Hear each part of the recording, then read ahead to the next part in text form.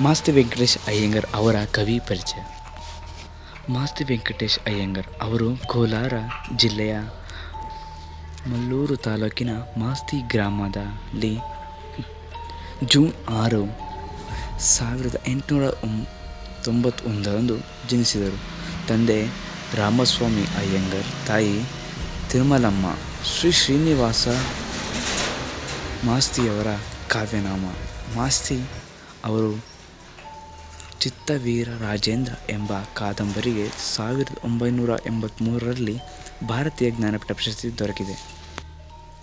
ಕನ್ನಡದ ಎಲ್ಲ ಜ್ಞಾನಪೀಠ ಪ್ರಶಸ್ತಿ ಪುರಸ್ಕಾರರು ಅವರ ಕವಿ ಪರಿಚಯ ವಿಡಿಯೋಗಳು ನಮ್ಮ ಚಾನಲ್ ದಯವಿಟ್ಟು